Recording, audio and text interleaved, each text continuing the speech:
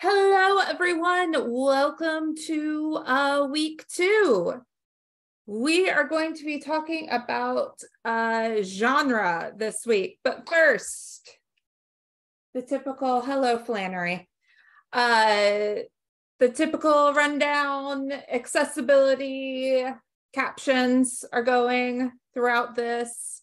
Um, Miss Flannery she's not an accessibility um, feature per se, but she shall probably go in and out of frame a couple times um, because she's feeling very needy today.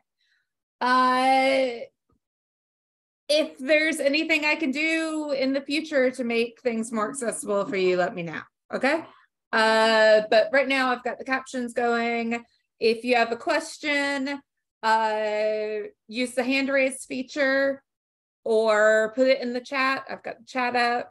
Can watch all of that as it goes by, and I will get to you as I come to the end of a thought. Because if I try to interrupt myself mid thought, um, it will just be badness. Uh, my ADHD brain, my ADHD brain cannot handle that, and we'll end up in tangents, areas that we did not need to be. Uh, late work. If you think you need any extra time whatsoever, please ask. All right. Uh, only one person asked last week, and I had to go in and like put a whole bunch of I'm going to have to take 10 points off uh, messages on assignments yesterday, and that really bummed me out. Um, so if you think you need extra time, just ask for it, right? Even if you don't end up needing it, just ask. Uh, and then office hours, office hours, this is y'all's time. I my office hours are on my LMS profile. It should show up in your time zone if you have your time zones set up properly. I I know that they are between six and 10 on the East Coast, which I believe is between four and seven on the West Coast. I'm not 100%. I don't know. I'm I'm in Florida. I rarely go out west and have to deal with time changes. Um, although uh, my hockey team's playing out west. Yeah, that's math though. Um, all I all I know is this week I'm going to be up late uh two nights in a row watching hockey because my team's playing out west. Anyway, that's that. This week, uh writing and audience engagement, uh, which is primarily genre is going to be our big focus this week. Okay. Because this is important. All right. This is kind of make or break in a lot of instances. Uh, character is very important, right? And your character leads to your plot and such and such and such. But um, if you don't properly identify what genre you're working in, uh, one, people aren't going to be able to find your work. People that do find your work might get turned off by your work. They may look at it and be like, well, this isn't what I thought it was. I hate this.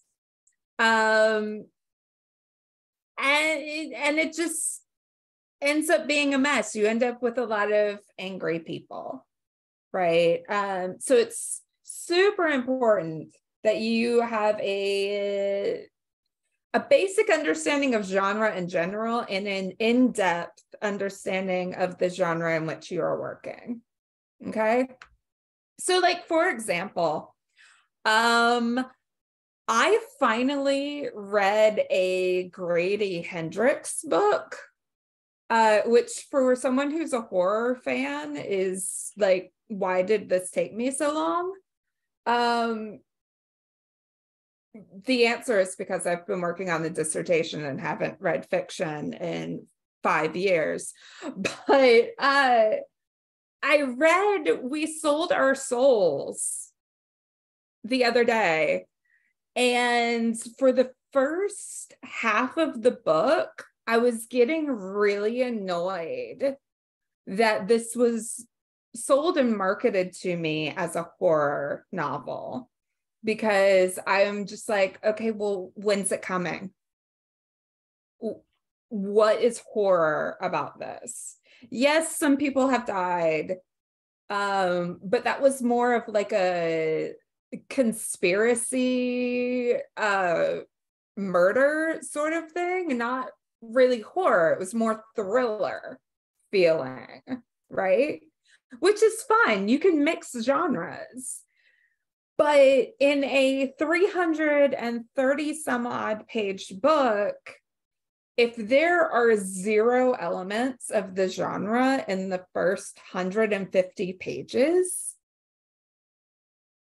I'm putting a lot of faith in the last half of the book that it's going to it's going to be some scary shit right? There's going to be some demons some devils some occult what have yous.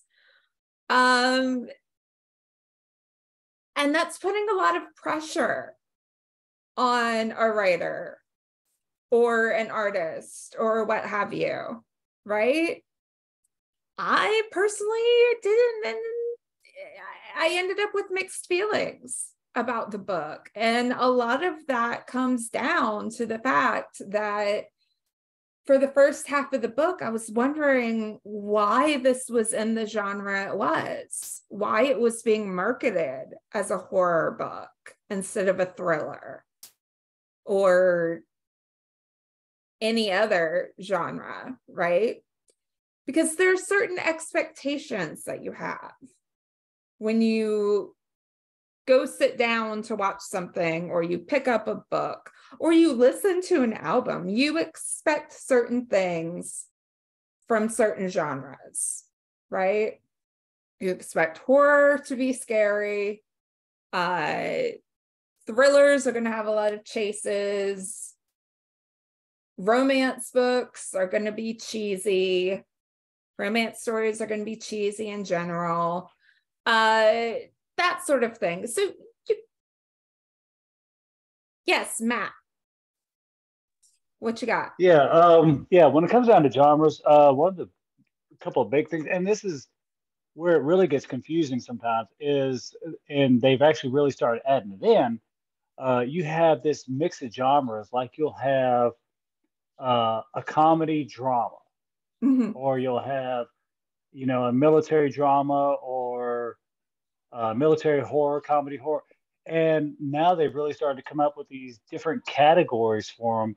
So you really got to think to yourself, okay, it's not so much based off of, uh, in particular, dramas anymore, uh, like it was back in the day like okay i'm going off to the video store and i'm going to rent a horror movie or a comedy or an action movie uh, now it's so diverse uh, in the uh, genre uh, genre mindset that you could say okay well i'm i'm looking for a comedy that's a mystery that has some action in it that you know has a has a drama. It's just it's it's really getting confusing how they're starting to do things but i can Nights really understand. It's exactly um you know and that actually honestly watching that halfway through it i'm having to i'm trying to think about what's going on but thank goodness for uh dvr i'm sitting there rewinding it and i'm trying to figure out okay i missed something here and i'm trying to go back figure it out. Or it's like if they read it, it's like Knives Out is the new version of Clue, you know. Mm-hmm. It's just, but with all these different genres and everything going on, do we really classify anything based off of uh, the way it used to be? Like, you know, this is an action movie. Okay, great. So but it's an action movie that has like uh, drama that's that's equal to that of a romance. You know. So we do. So we do, and we don't. All right. So thank you very much for bringing that up because, yeah, there's a lot more genre mixing uh, these days. Uh, I really think that to an extent there always was, but now with uh, streaming services and whatnot, uh, it's become even more obvious because you see what genres, what categories they're putting things in. But there's usually going to be one overarching genre for each piece of media, even if it ends up overlapping a bunch into different areas, there's going to be one genre that's trying to stay faithful to uh, in its storytelling. So, like uh, Knives Out, for instance, uh, is very much still a murder mystery story, uh, either one of the movies, even though it's dipping into various other genres as it's telling that story. There's still the one overarching genre. And it's important that you're able to identify that and that you know these genres because we are still sorting and finding the next thing that we want to watch or listen to or read based on what we've enjoyed before. So, in the case of a streaming service or a Spotify or something like that, the algorithm has all of these things sorted by whatever genre they were told this thing is. So when it notices you like this genre, it's going to suggest you more like that. And more and if you like uh blends like uh I'm a real big Mel Brooks fan. So I I I ended up skewing my uh, horror section by watching um, Young Frankenstein one too many times. So now it's coming up with all of these comedy horror uh, films mixed in with my like serious horror movie stuff which is fine because I happen to like that. But some people don't. And some people might get annoyed at uh, it being sorted that way. I think that is the reason too why uh, they've developed categories instead of listing things purely by genre in streaming services so that they can make up these clever, quirky names for things that uh, are either a blend of genres or sit just outside of one genre, but not really in another. Yeah. Okay. Yeah, that's that's what I was looking at. And God bless you for love Mel Brooks. He broke a lot of barriers, and uh, uh, he actually that's that's my generation right there. So, but um, we were all we were the Gen X. So yeah. yeah. Anyways, yeah, that's that's one thing I was looking at is all this mixture of genre. It really kind of puts that confusion in, and uh, like one of the assignments, it says pick a genre and talk on it. Well, I did the one I'm more familiar with, you know, the you know war and action stuff. Mm-hmm. So I talked about that, but you know when I pulled up uh, because I've forgotten the name of a couple movies, when I pulled up for my discussion, just to reference uh, the names of some films um, of, the, of the movies I know and some of the ones that I have criticized and picked apart, like, like you have no idea how, how I will run them into the ground. Um, but uh, looking them up, I noticed when I did that that a lot of them that pulled up were not they they say oh well this is a, a war movie. No it's not really a war movie. Well this is an action movie. Not really. That's a romance. So that uh that will actually lead uh nicely into uh into my next slide. Uh so there's a bit of genre confusion happening uh with one of my favorite movies um and i'm not going to tell you guys the name of the movie i'm not going to tell you anything about the movie i'm just going to show you the trailer and then we can talk about it. Um, Blazing Saddles? No. Oh. No, it's more obscure than that. All right. Monty I'm Python. Gonna, I'm going to turn off my video so that uh, y'all aren't just watching me watch this trailer. All right, here we go.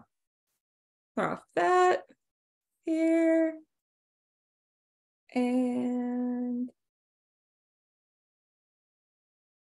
Go on. Can y'all hear it? No, I can't hear. All right, hang on. Negative. All right, hang on.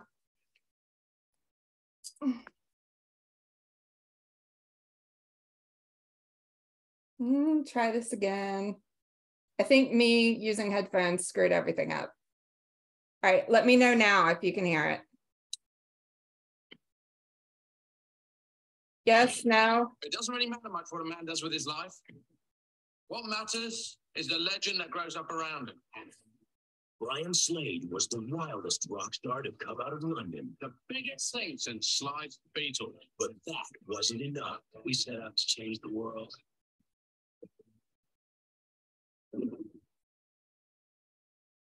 What happened? Who did it? And why? Next week is the anniversary of the whole shooting incident. One journalist is about to look into the mystery. Trying to contact you about a story. From the moment Brian Slade stepped into our lives, nothing would ever be the same. He was, in the end, like nothing he appeared. Right after everything crashed, Brian seemed to get lost in the lie. Became someone else.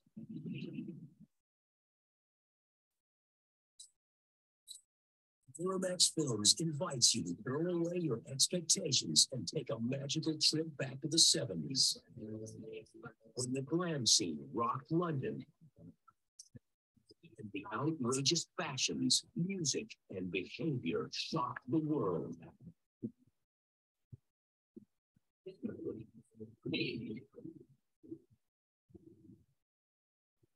I should a sensation. So, what if y'all had to guess? what genre would you say that movie was? You don't get to guess, Flannery. I would say drama. Drama? Yeah, that's that's good. It actually is. Yeah. You guessed you guessed one of the correct genres. What else?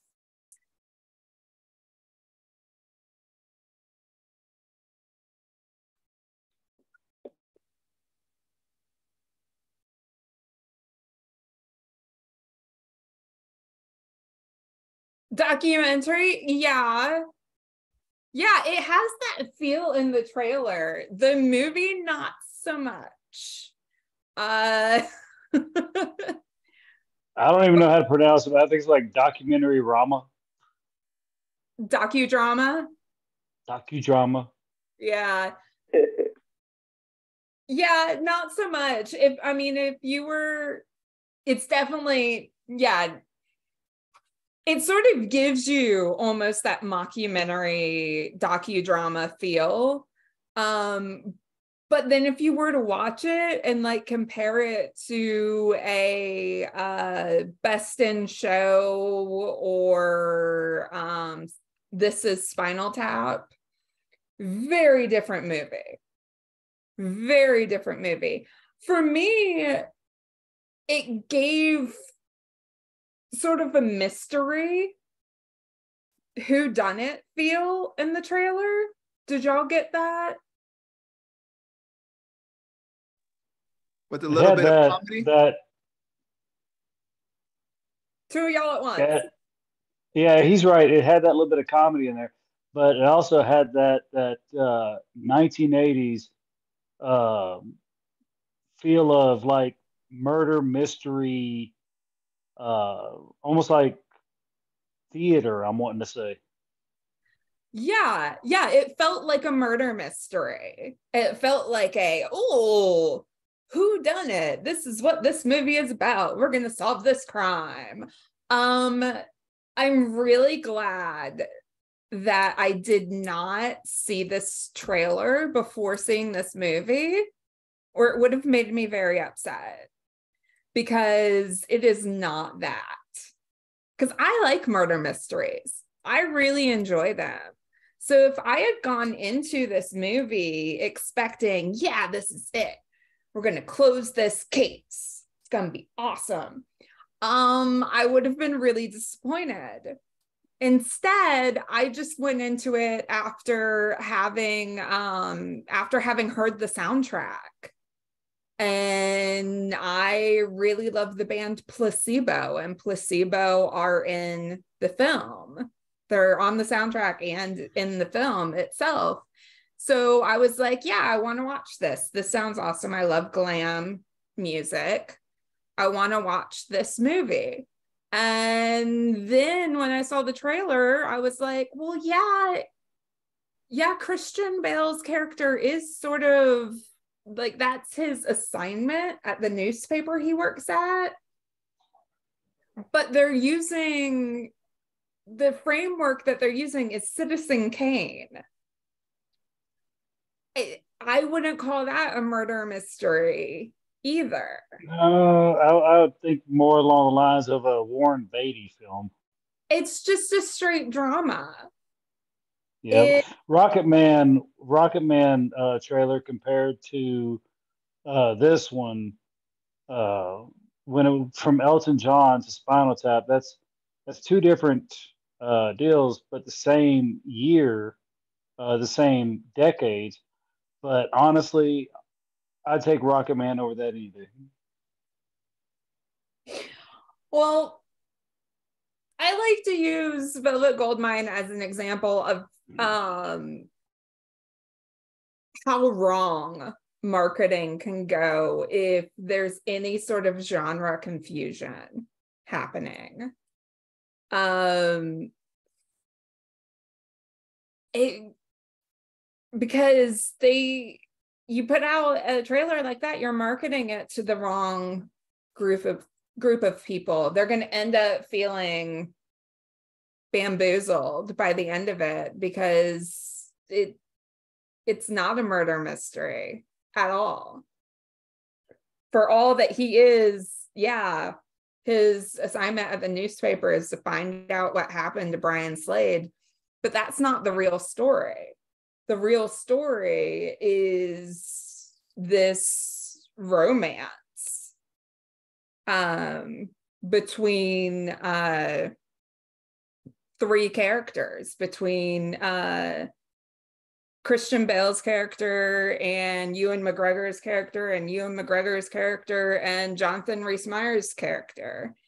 And then you got poor Toni Collette thrown in there. Uh that's what it is. It's not who who cares in the end what happened when you've got all of the rest of this story happening. All right. So it's important to know what genre it is you want to be working in because that is where your focus should be for all of these little tropes that you're so used to seeing in films and in books and whatnot. You need to know where to apply them and how to apply them, right? Which means you need to be familiar with these things.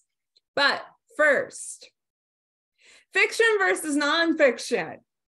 This is a very building block, guys, but you would be surprised um, at how often people get this wrong.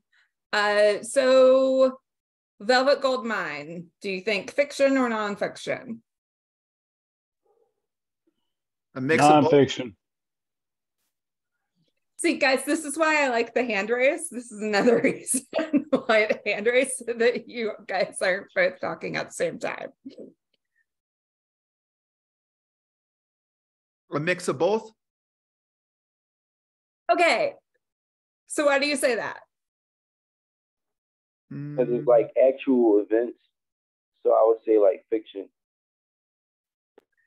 So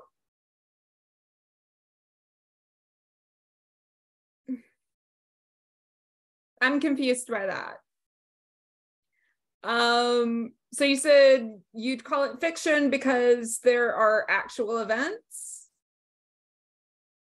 So like basically like I'll say it's like it's it's it's a referring to like actual people and events.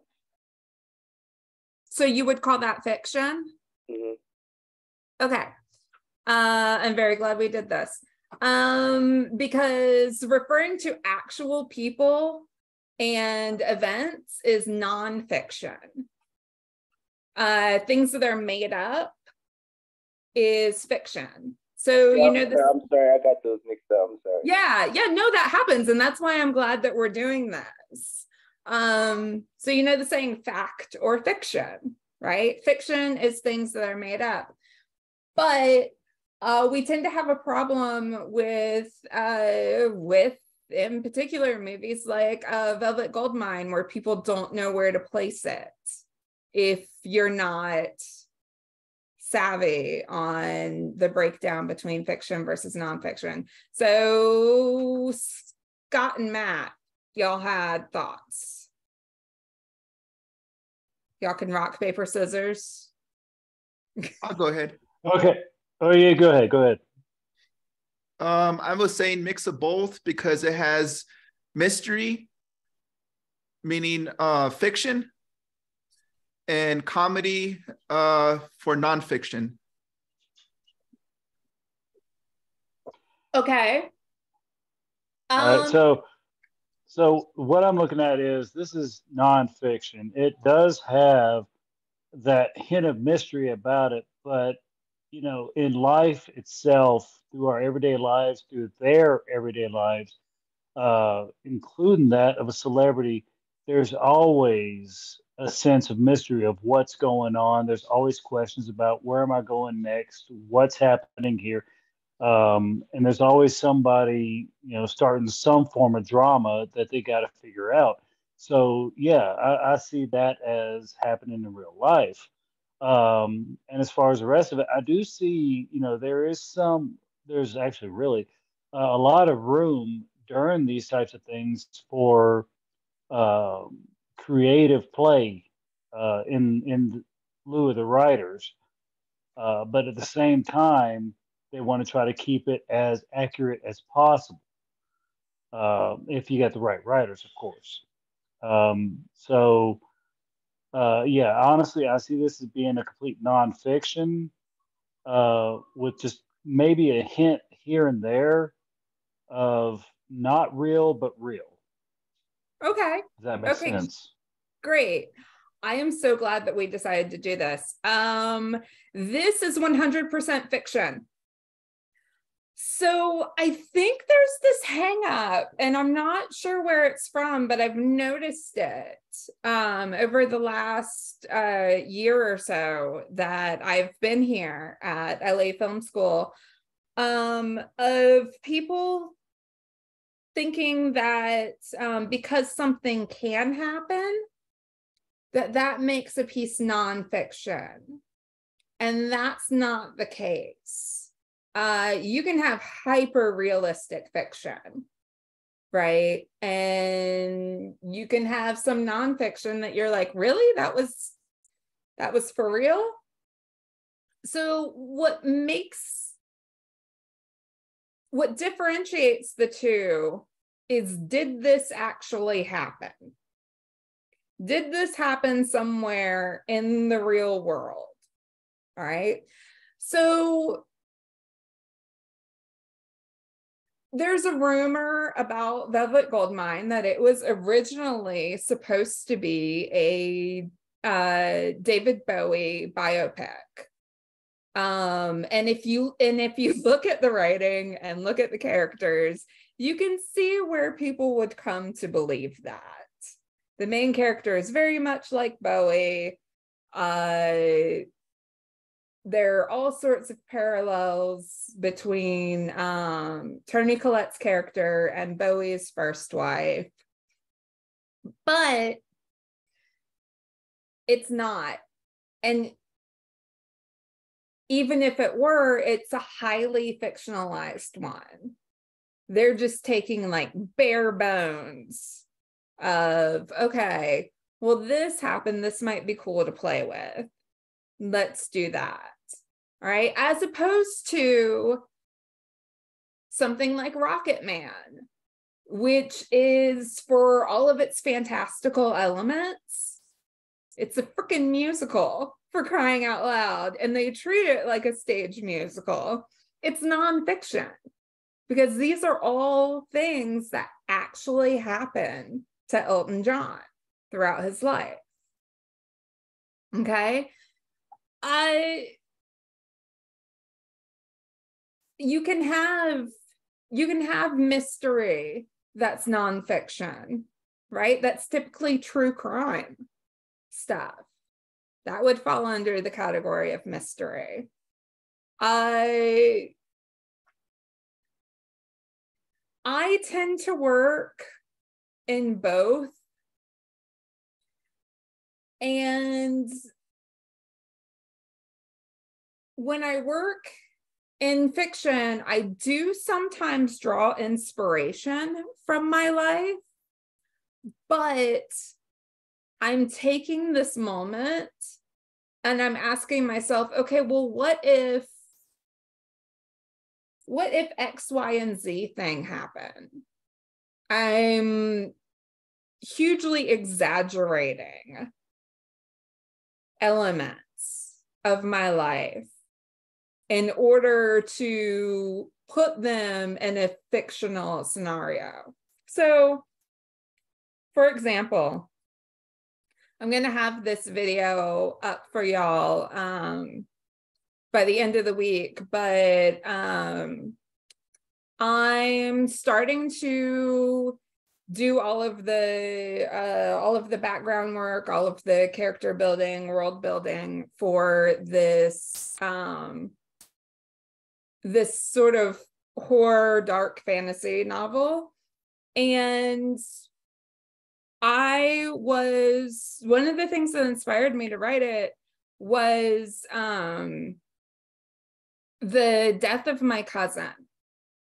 He uh i know he was shot and i know nothing else about what happened. I don't know the circumstances surrounding the shooting.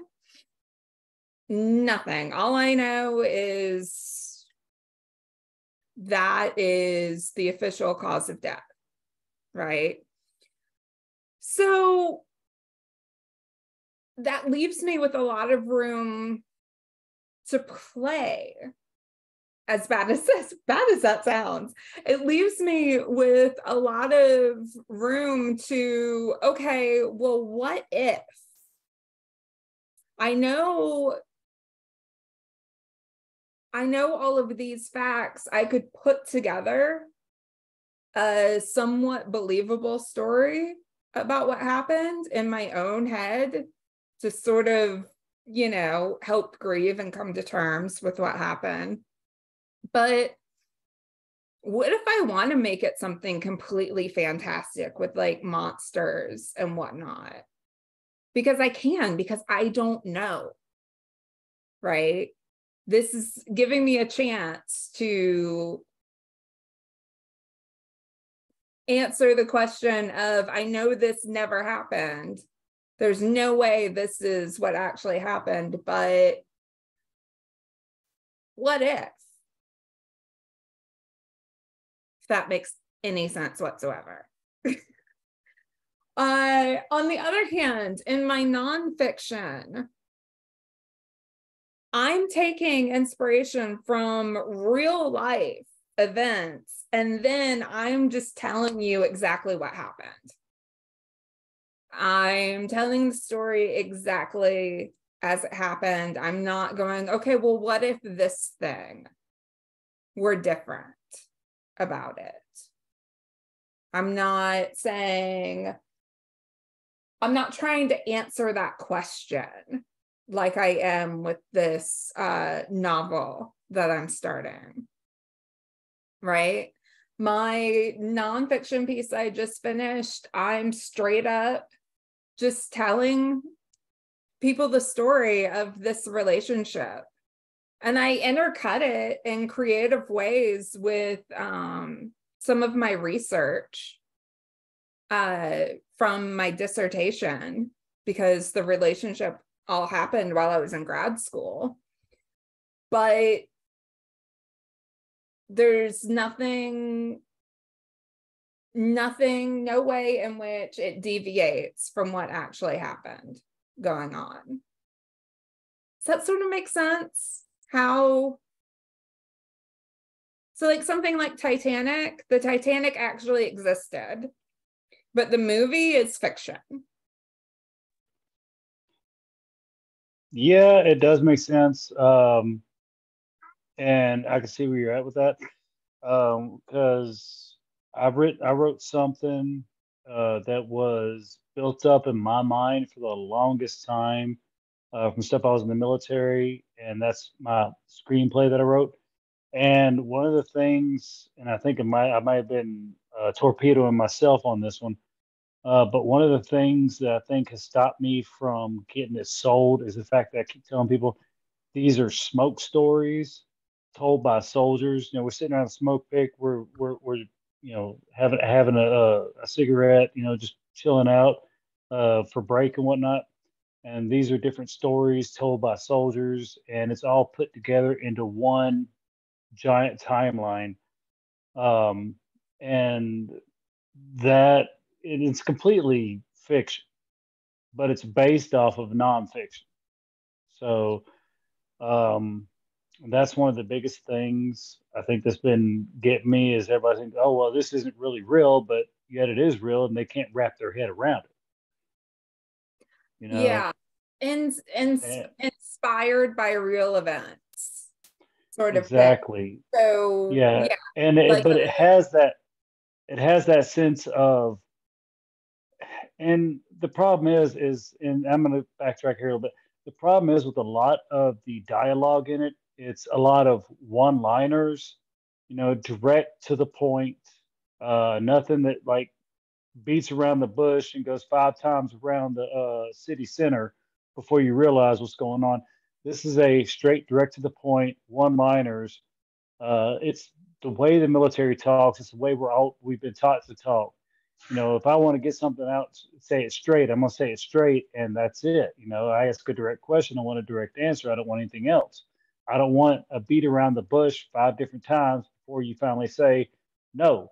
You know, this is that's that's how I wrote it, and I don't think they can really. A lot of people really can't wrap their heads around it. Um, but it is based off of uh, the war in general but it's set in two different um, theaters.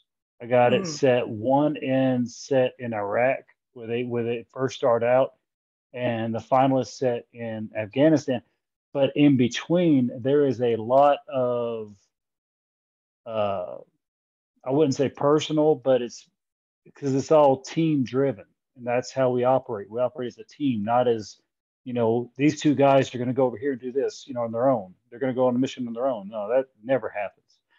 Um, unless it's a special op mission and the recon, then the scouts and, you know, SF and stuff like that. But um, this is all 17. So it's actually a whole team loses and they're all feeling it, but it's all drawn to one person, the one person they consider, you know, the dad of the platoon, the big daddy of the platoon, uh, was the platoon sergeant himself, and he's feeling it, but the character doesn't let it known off the bat. He can't show that weakness to his soldiers.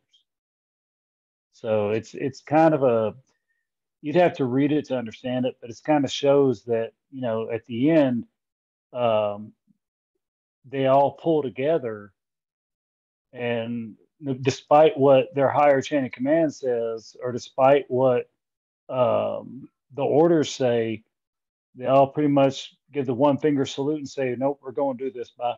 See you later." You know, bust through the gate and go rescue whoever they got to rescue. You know. Sounds good. Uh, real quick, let's go over different genres and different expectations of them. The big genres and the big expectations that y'all have. So horror, you expect it to be somewhat scary, dark, and grim, right? If it's not these things, mm, you were probably questioning, like I was with this Grady Hendrix book, like why? Why did you tell me that this is a horror book or a horror film or what have you? Right? Action, adventure, you've got a quest, someone is looking for something. Uh, it's normally going to be very fast paced right i felt like i i felt like uh the beginning of we sold our souls or like the uh the space uh, sort of mm, the middle of the first half of the book felt more action adventure y because of the pacing of it. Um, it's normally going to be some sort of fights, shootouts, what have you. Science fiction, time travel, TARDIS, woo, uh, aliens, space, um, but also um, everything, everywhere, all at once uh, that's science fiction. Uh, the multiverse, uh, multiversal travel. Um, that's another one that's become big in sci-fi. I love that movie too. If you haven't seen it, watch it. Um, romance, guys, could probably pick a romance out at five paces you got your, your meet cute, your misunderstanding, someone falls in love with someone else. Um, I remember I knew a girl in undergrad who was under contract from um, Harlequin to write a book, and they like gave her like okay they have to meet by this chapter they have to kiss by this chapter they have a formula for this shit. All right. There's no messing around with the romance genre. Uh, it is by far the most easily recognizable, I think. Right. I highly recommend uh, you making a bookmark for this website, tvtropes.org. Um, it can end up being one of those rabbit hole sites like Wikipedia where you just keep clicking. Um, but it can also be uh, highly useful. So you can search uh, you can search films, books, TV shows, what have you. You can search by genre. Um, and it will tell you all of the tropes, all of the things that uh, people expect from that genre. They've got even a special section called So You Want to Write. So you want to write horror. So you want to write sci fi. So you want to write this. And it gives you a short little breakdown of okay, here are the audience expectations for those genres. What's up, Matt? Just say it's addictive. It's not a rabbit hole, it's addictive. I've been on it. You can't get off of it. I was on it for five hours. You cannot get off of it. I love it so much. One of my favorite comedians, they have a page just for her. And I'm just going, why does Eddie Izzard have a page on TV tropes? I mean, well deserved, but also. I mean, Eddie Izzard, come on now, really? She has a page. He, There's a page for all of her specials. Eddie Izzard is, oh, it's, it's, it's no explanation behind it. That that is okay. I'm not gonna. We're gonna be here for hours. I'm not gonna start with it. Yeah. I'm going to be posting an Eddie video to uh, the discussion board later. Um, an, old, an old one from the 90s. Yeah, for those of y'all that don't know Eddie Izzard, ever since like the 80s, Eddie Izzard has been it's it's beyond even comprehension. It, it it's a he's a it's he it's a mind twister. Okay. She's, She's the missing python. That's uh, beyond that. It's it's yeah. this is like characters beyond characters beyond characters. This is like the the multiverse of characters in there.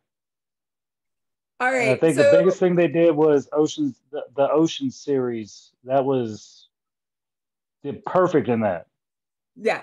Uh she's also in Velvet Goldmine. Um Okay. Uh trying to decide we have time for this or not.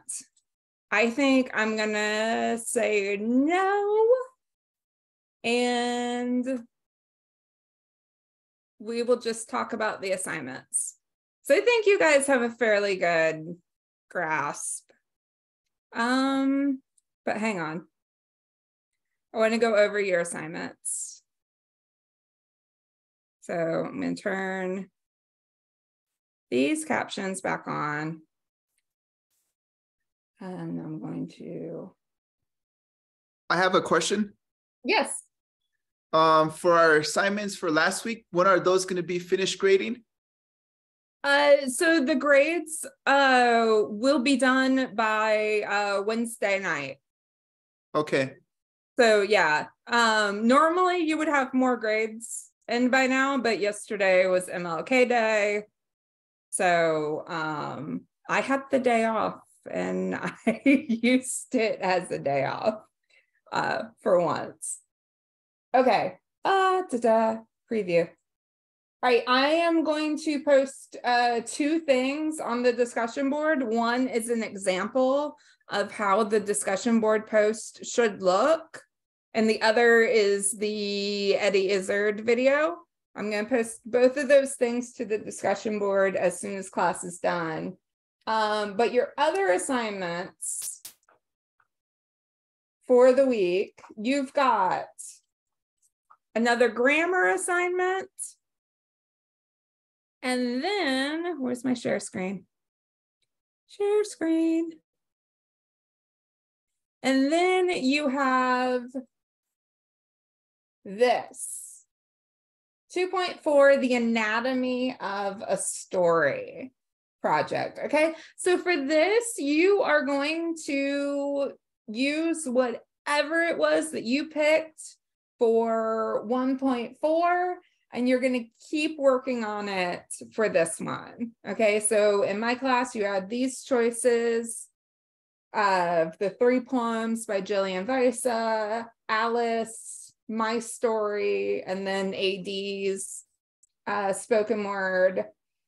So you're going to write a paragraph summarizing the story in which you will identify the introduction, rising action, climax, falling action, and conclusion of the story. Okay, um, the big thing here we're not looking for did you hit this perfectly i'm looking for and what the other instructors are looking for is can you explain to me why you said this is the introduction this is the conclusion this is the falling action, that sort of thing. Okay.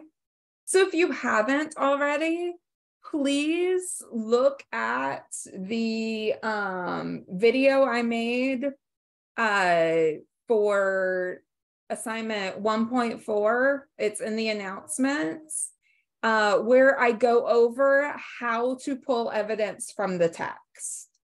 Okay.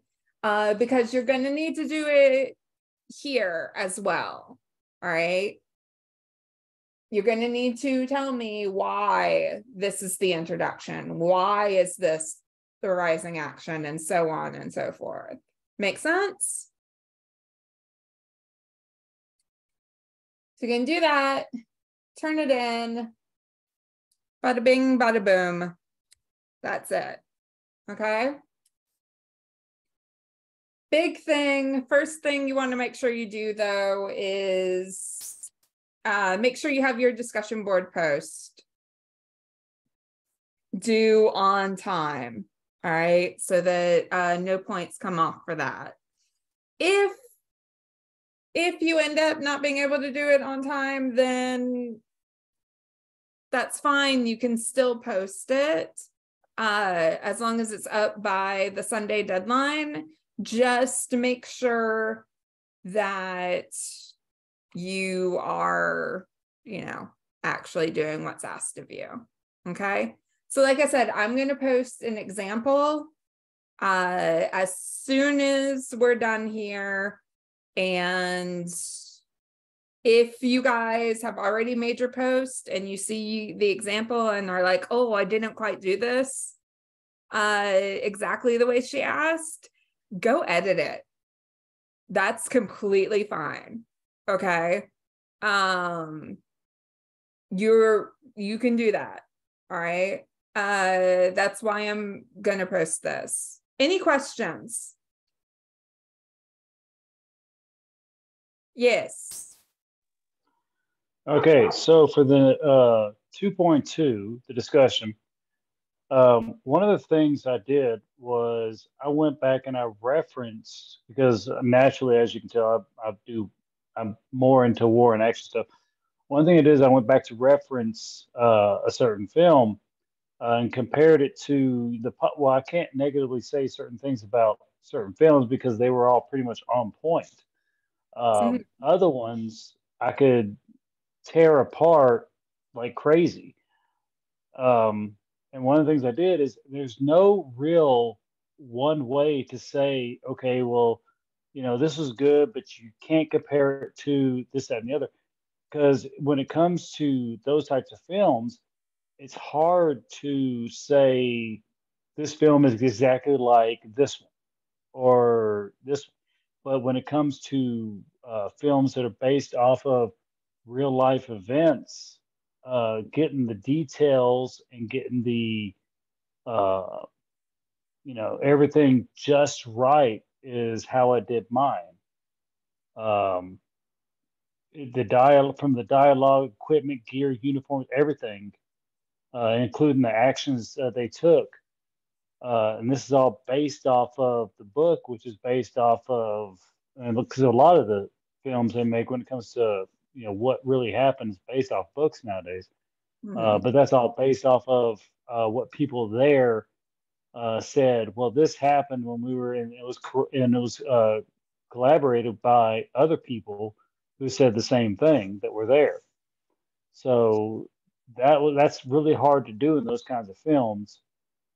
Um, but I want to know is if you can't say, okay, well, this is wrong about this and this film. I can't, and I can compare it to this film with the exact same thing in a different in a different genre.